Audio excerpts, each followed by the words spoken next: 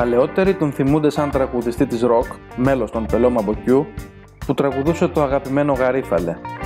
Οι νεότεροι τον γνώρισαν από τα σόου και τα τηλεπαιχνίδια.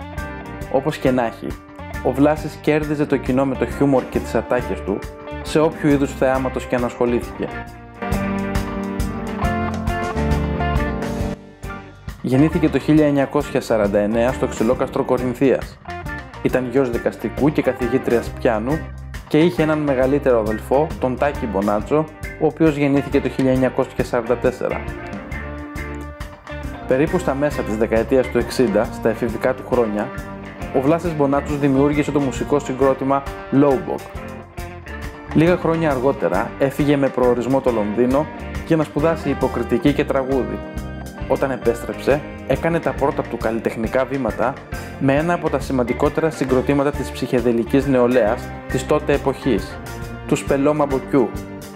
Ένα όνομα που είχε προκαλέσει αίσθηση, μιας και τα μέλη του συγκροτήματος στην αρχή δεν αποκάλυπταν τι σημαίνει. Κάθε φορά που τους ρωτούσαν, απαντούσαν και κάτι διαφορετικό, με αποτέλεσμα να δημιουργηθεί ένας μύθος γύρω από το όνομα του συγκροτήματος. Τελικά, σύντομα αποκαλύφθηκε ότι το όνομα αποτελείται από τις συλλαβές των επωνύμων των μελών, δηλαδή Δαπέρης, Λογοθέτης, Μαρινάκης, Μπονάτσος και Ουρτσόγλου.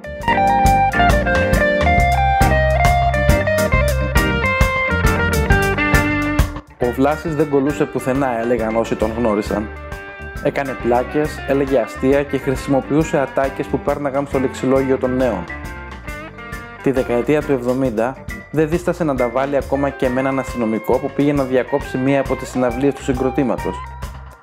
Ο Βλάσης τότε του ζήτησε να τους επιτρέψει να πούν άλλα δύο τραγούδια για να μπορέσουν να πληρωθούν και να γλιτώσουν το ξύλο από τους πατεράδες τους.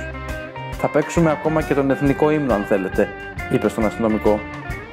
Τελικά η συναυλία κράτησε ακόμα 25 λεπτά.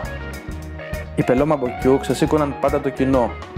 Το αγαπημένο τραγούδι του κόσμου ήταν το «Γαρίφαλε», που γράφτηκε από τον Μπάμπη Κιουρτσόγλου σε μία μέρα. Με το πέρασμα του χρόνου, ο Μπονάτσος ταύτισε το όνομά του με το συγκεκριμένο τραγούδι.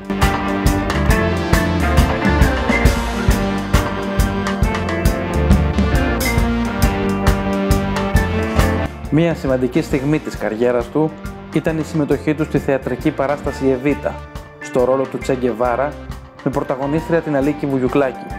Η συνεργασία του στη σκηνή γέννησε έναν μεγάλο έρωτα.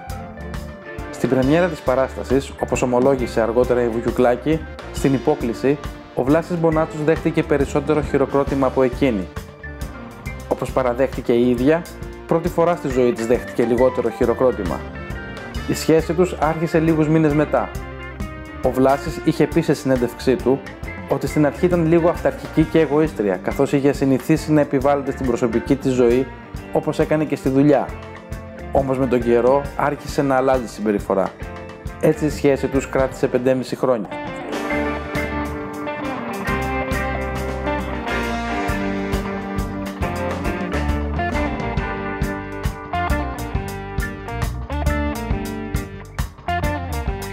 Λίγο καιρό μετά το χωρισμό του με την Αλίκη Βουγιουκλάκη, ο Βλάσης έμεινε για ένα διάστημα στο σπίτι του Ηλία Ψινάκη. Το 1990 ήρθε η συμμετοχή τους στους Απαράδεκτους, τη σειρά που άφησε ιστορία στην ελληνική τηλεόραση. Από τη σειρά έμειναν διάσημες ατάκες του Βλάση, όπως το «Καλά με συγχωρείς» ή το «Φοβερό», τις οποίες είχε γράψει ο ίδιος και ήταν εμπνευσμένες από τη συγκατοίκηση του ηθοποιού με τον Ηλία Ψινάκη. Γι' αυτό και στον πρώτο κύκλο της σειράς υπάρχει το όνομα του Ηλία Ψινάκη ως έκτακτος συνεργάτης.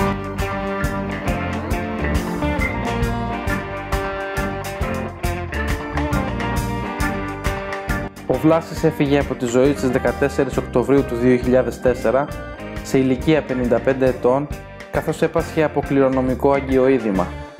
Σύμφωνα με το ιατρικό ανακοινωθέν, ο θάνατός του οφείλεται σε αποφρακτική ειδηματόδη λαρυγγίτιδα.